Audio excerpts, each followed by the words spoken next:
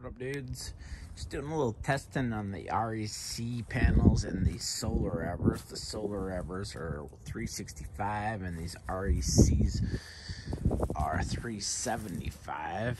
So I um, kind of been playing around. I do have more of each panel and I tried three in series and the Bluetti just actually did better with two, which is weird because it's under the voltage of 150. So, anyways, I know a lot of people are interested in these REC panels, and from what I can tell, in uh, direct sunlight, they make a little bit more power as they should, and then uh, if it's a little shaded, these um, Solarevers just work a little bit better.